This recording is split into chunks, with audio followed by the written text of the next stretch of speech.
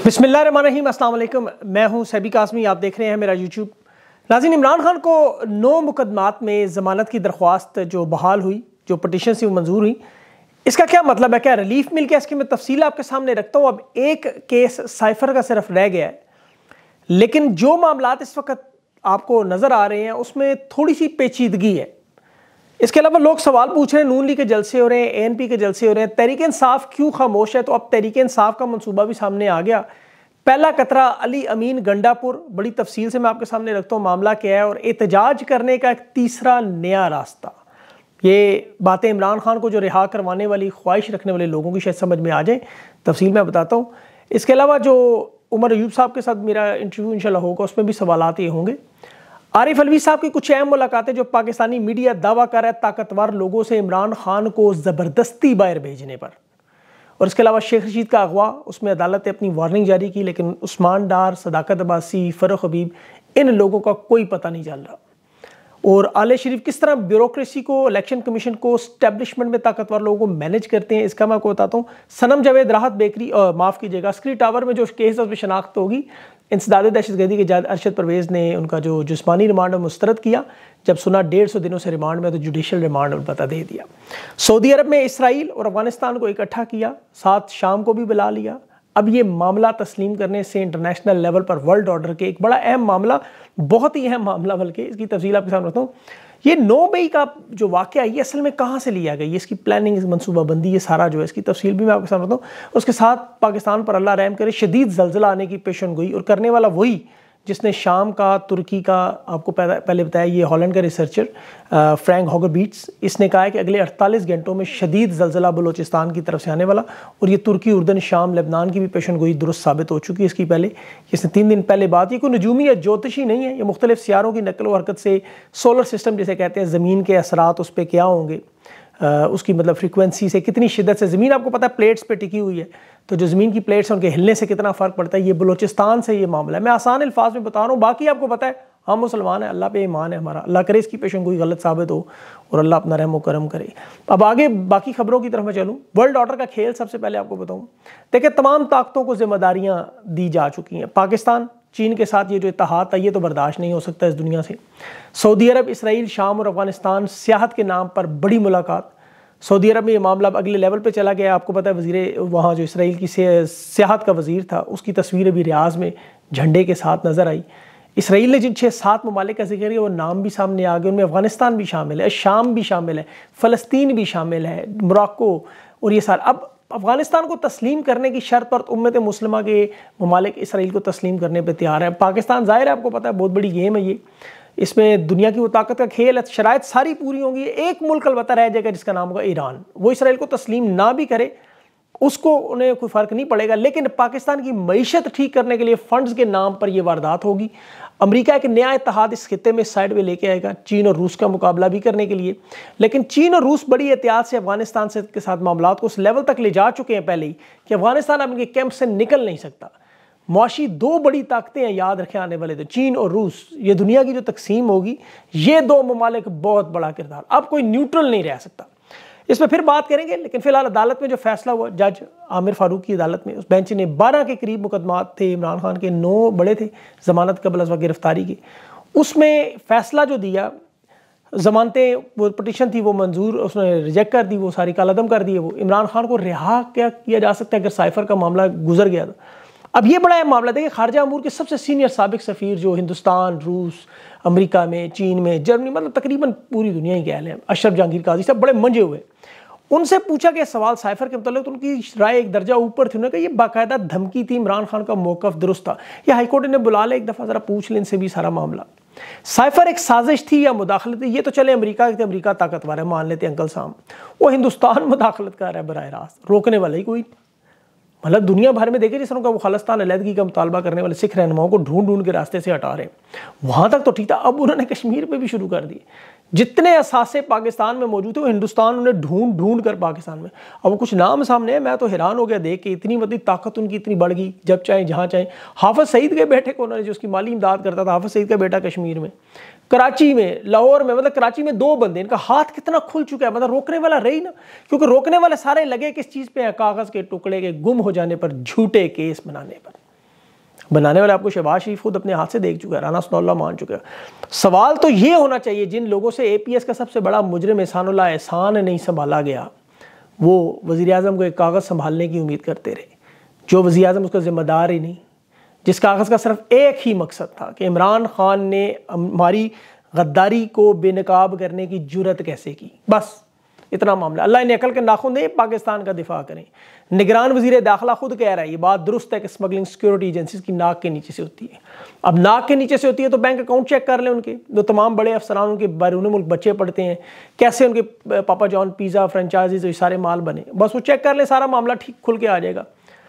फिर इन असासों को बचाने की कोशिश भी ये करते रहे। देखें, नौ मई में ये भी हुआ, यही हुआ। अमेरिका से पूरे का पूरा प्लान बन के किस तरह डोनाल्ड ट्रंप इलेक्शन में जो धांधली हुई थी, आपको याद होगा, उसमें फिर उसके हामी जब कैपिटल हिल में घुस गए पूरी दुनिया में शोर मचा, जी, जमहूरियत के नाम पे अमेरिका में बहुत बड़ा मसला। अब यहाँ पे भी फिर इमरान खान की गिरफ्तारी, ये आइडिया ने मिला।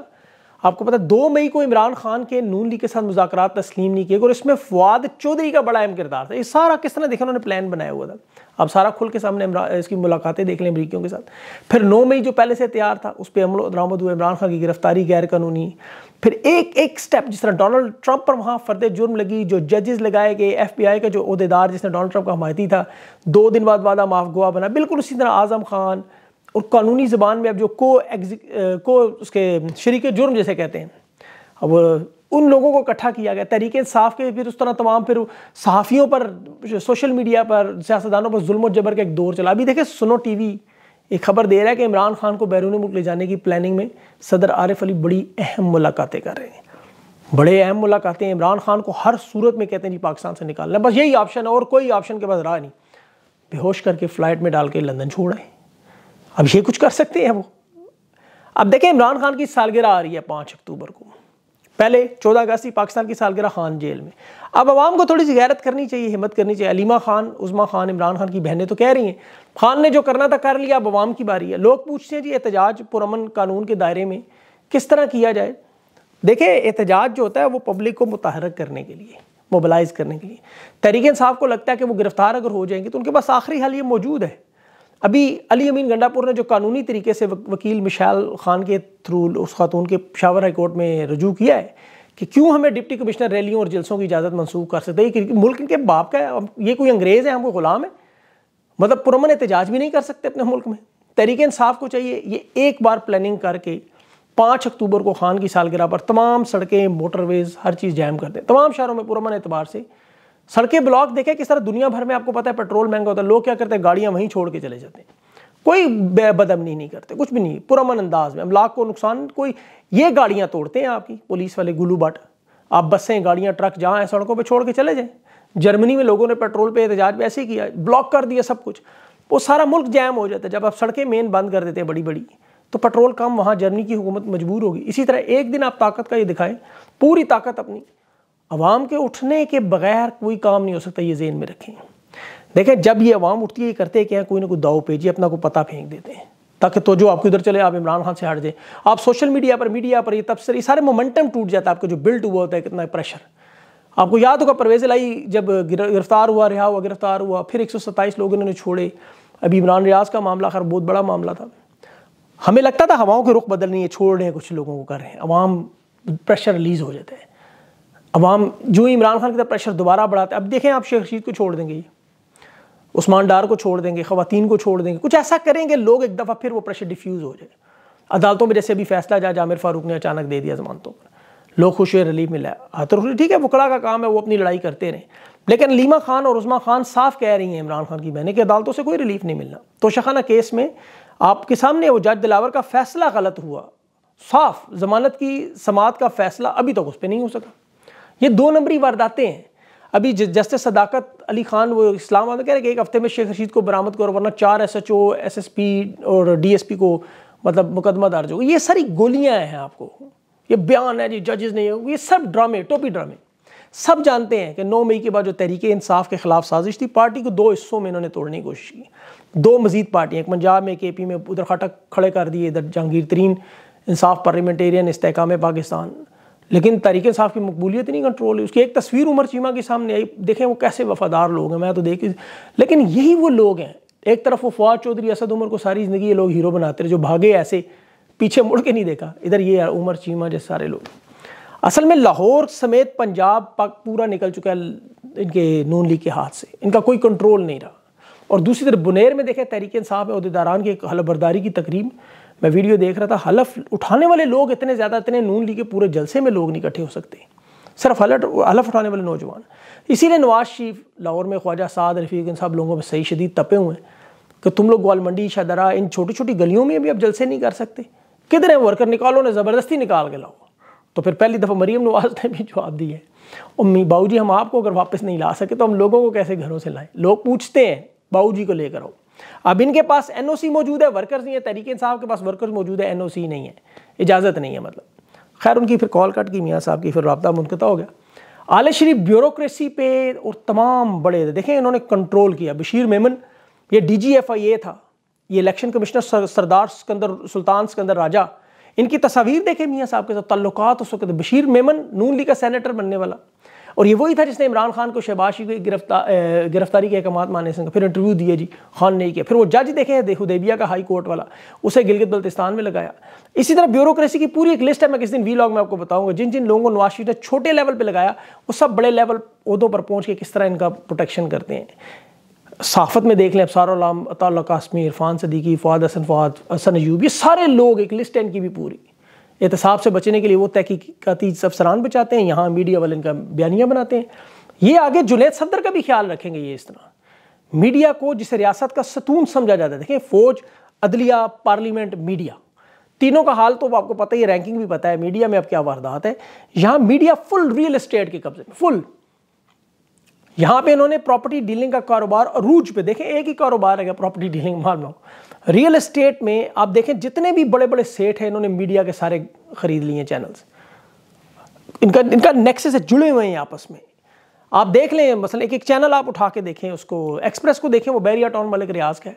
ये सुनो जो है, ब्लू वर्ल्ड वालों का बी एन एन वो खोखर्स लाहौर वाले, न्यूज़ वन वो अलकबीर ग्रुप वालों का है, वो टेल न्यूज़ एयर सियाल वालों का है, समा, ये अलीम खान का है, आपको पता है, कैपिटल टीवी जो है वो रहमान गार्डन वालों का एक और है वो ओ टी बल्कि फैसल टाउन वालों का। अब देखें, अदलिया और उसके वकला का भी हाल आप देख लें। शाह खावर, ममनुआ फंडिंग में यहाँ पे वो लड़ रहा था केस इमरान खान का, आपको पता है। यहाँ पे वो फुल, इमरान खान की ज़मानत नहीं होने दे रहा। अगर मीडिया आपने असली देखना है तो आप देखें इमरान रियाज को बैठा के मीडिया पे। एक दिन यूट्यूब पे आएगा वो, इंशाल्लाह जिस दिन। एक लफ्ज़ ना बोले, खामोश वीडियो, खामोश। एक लफ्ज़ ना इमरान रियाज बोले, इशारों से बात करता रहे। सारे तमाम चैनल्स की रेटिंग रैंकिंग एक जगह, उसकी अकेले इतनी होगी। क्यों? इसके सवाल, इनका जवाब, वो इसलिए कि वो हक सच की बात करता खड़ा रहा डट के इसीलिए लोग साथ हैं। ये जजेस करप्ट हैं इनके सारे तो वकला भी करप्ट ही हैं। मतलब मैं सारे वकला की बात नहीं कर रहा बहुत थोड़े से बल्कि वकला करप्ट है, ज़्यादा नहीं। अभी देखें एफ़ आई ए साइबर में मैं बता रहा था खबर शाह शाह खबर की, एक तरफ़ वो खान की वहाँ पे ज़मानत लड़ता रहा केस। ममनुआ फंडिंग में। और इधर कह रहा, जमानत नहीं होने देनी। ठीक है, आपको जब पता है गारंटेड मुजरम आल शरीफ जरदारी आप उनकी कैसे वकालत करें? इसी तरह आपको पता है, खान बेगुना है। इनसे कहीं, दिल पे हाथ रख के बताएँ, केस को पढ़ के सारा। इन सबको पता है वारदात। इन्हें पता है खान बेगुना है, फिर भी लेकिन ये केस लड़ते हैं। ये तो वही बात, आपको बंदा आके कत्ल कह रहा है, मैंने कत्ल किया, आप फिर भी नहीं जी इसको इससे सफ़ाई का मौका, कौन सी सफ़ाई का वो इतराफ़ कर रहा है? और आपको पता है, इसी तरह कोई बेगुनाह आदमी है, आप कैसे उसके खिलाफ लड़ सकते हैं? बहरहाल, इनके अपना दीन ईमान है। प्रोफेशन कहते हैं इनका प्रोफेशनल जो भी है। इनशाला अगले वीलॉग तक मेरी कोशिश है उमर यूब साहब जो है रात जो मेरे साथ आ जाएँ वीलॉग में अगर आज इनशाला हो गया तो ठीक है, नहीं तो कल फिर आपके साथ तफसीत रखूँगा। अपना ख्याल रखें, इजाज़ दें। अल्लाह